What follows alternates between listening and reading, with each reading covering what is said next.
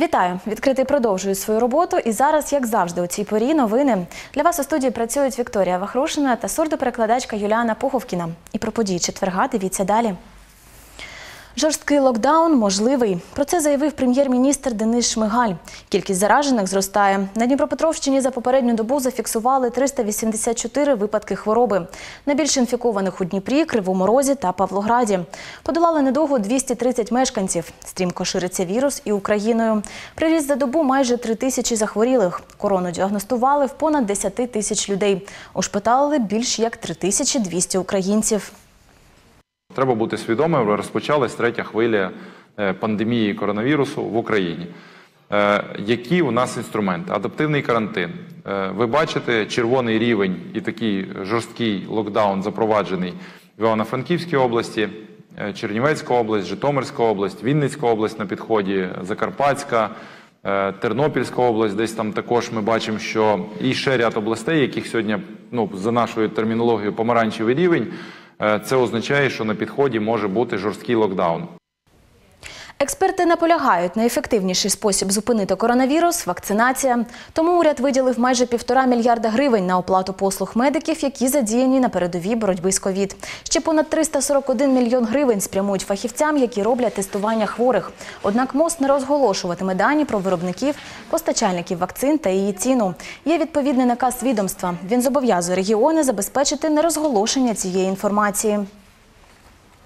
Така вимога зумовлена положеннями угоди, укладеної між Міністерством охорони здоров'я та спеціалізованою міжнародною організацією Crown Agents, яка уповноважена здійснювати закупівлі вакцини.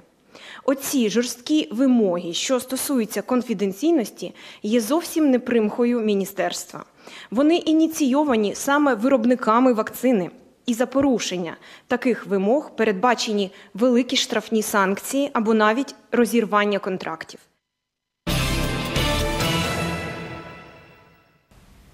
У Дніпрі щодня евакуйовують до півсотні автівок за порушення правил дорожнього руху. Про це розповіли в інспекції з контролю за паркуванням. Кажуть, роблять це задля безпеки містян, адже водії нерідко залишають свої машини там, де вони можуть спричинити ДТП на пішохідних переходах, перехрестях та зупинках громадського транспорту.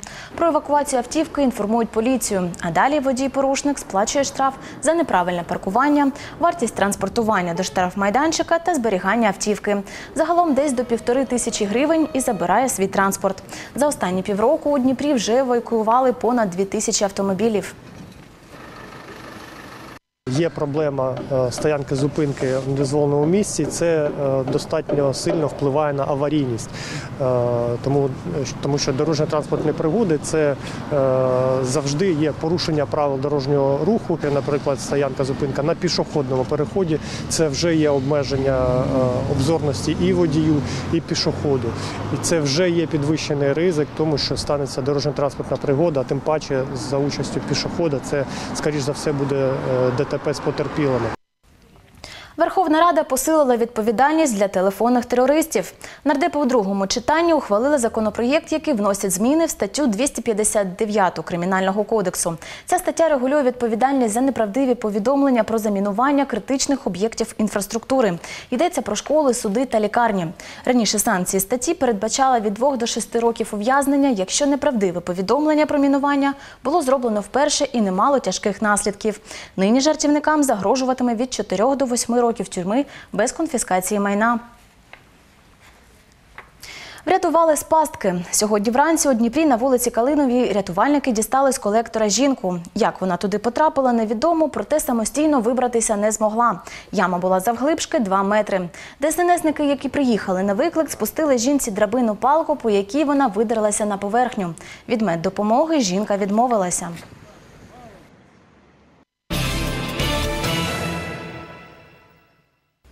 Відзначили 70-річчя. ДЮСШ номер 1 у Кам'янському відсвяткувала ювілей. Нині там займаються майже 700 спортсменів у 12 видах спорту. Їх тренують понад 30 тренерів. Серед них майстри спорту, заслужені тренери України та міжнародного класу. Лише протягом 2020 року вихованці спортшколи брали участь у шести світових змаганнях та у понад 43 національних.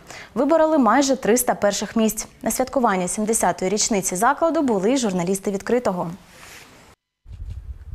За 70 років роботи в ДЮСШ номер 1 Кам'янського навчалося приблизно 39 тисяч спортсменів. За цей час підготували два майстри спорту України міжнародного класу, 86 майстрів спорту СРСР та України, понад пів тисячі чемпіонів України, одного учасника Олімпійських ігор, 340 переможців міжнародних змагань.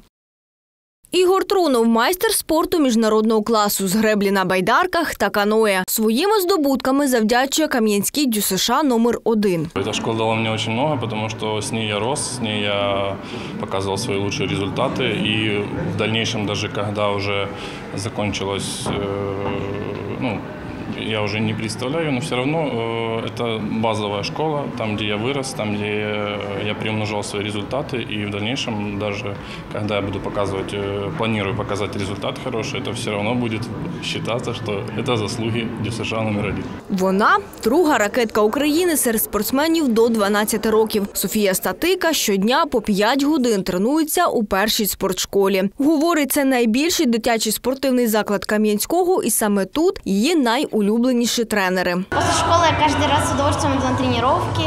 Это для меня очень важно, теннис. Я уже сколько лет занимаюсь, сколько наград у меня. И это мое как будущее. У першій ДЮСШ Кам'янського нині займається майже 700 спортсменів. Боксом, греко-римською боротьбою, веслуванням, важкою атлетикою, гандболом, козацьким двобоєм, стрільбою, тенісом, теквондо та спортивними танцями.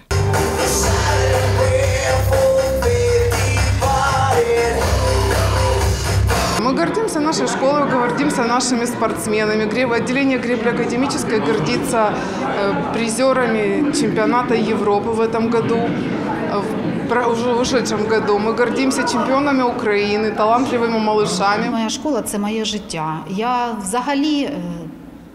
е, Взагалі, це ну для мене це новий колектив в першу чергу. Це діти, які це душа нашої школи, тренерські колективи. Діти це душа нашої школи. Все інше це заради їх майбутнього, заради їх виховання, заради їх успіхів. Ми робимо все для того, щоб як можна більше було чемпіонів. 70-річний ювілей ДЮСШ зустріла оновленою. Тут зробили ремонт та закупили спортивне обладнання. Для нашего тира мы закупали новые пистолеты. В этом году мы также хотим для гребли там закупить специальное новое оборудование. Ну и плюс там ремонты в помещениях, там ремонт крыши.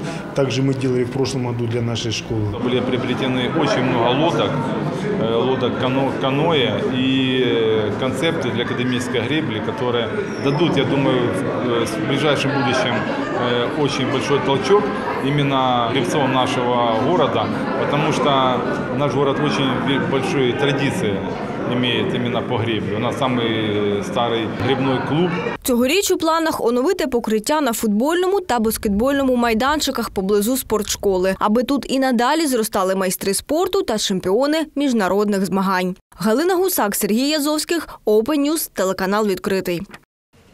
Дніпровські студенти готуються підкорювати космос. Вони представили свою розробку багатоступеневу ракету. Подібних кажуть аматори-проєктувальники в Україні ще не створювали. Цю ракету акцентують молоді винахідники. Вони ще не запускали. Немає відповідного майданчика. Однак свої інші розробки вже випробували. Хлопці не втрачають оптимізму, втілюють свої ідеї та переконані, їхня двоступенева ракета цілком могла б досягти першої космічної швидкості на землі. В апреле 2018 мы запустили первую ракету К-76 на высоту около двух километров. Э, И как бы получив некий опыт э, и поняв э, перспективность разработки, у нас начался этап проектирования следующих изделий. Потом у нас через год мы запустили ракету К-80 «Консат», предназначенную для э, участия в международных э, соревнованиях э, по запуску микроспутников «Консат». Дніпровські розробники лише на початку шляху. Натомість Ілон Маск продовжує підкорювати космічні простори. Його компанія SpaceX провела чергове випробування марсіанського корабля Starship. У перші 15 за київським часом зореліт здійнявся в небо на полігоні в районі Бока-Чіка в Техасі. Корабель піднявся вгору на 10 кілометрів, а потім м'яко приземлився на посадковий майданчик. Це перша вдала спроба приземлення Starship. Проте без неприємностей не обійшлося. Корабель хоч і приземлився, та вже за 10 хвилин вибухнув.